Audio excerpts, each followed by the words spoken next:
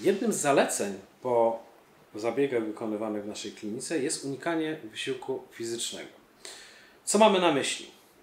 Przede wszystkim uprawianie sportu, z którym należy się powstrzymać przez 2 do 3 tygodni po zabiegu.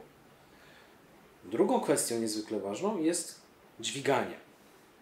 Unikamy go również 2 do 3 tygodni.